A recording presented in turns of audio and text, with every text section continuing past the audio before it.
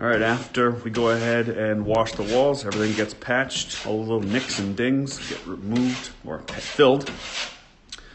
The wall has several patches on it. All this gets taken care of. We sand everything down to smooth. And then after that, we'll prime it up. But in the meantime, we gotta make it look pretty so that uh, everything's nice and smooth and flush when we're done.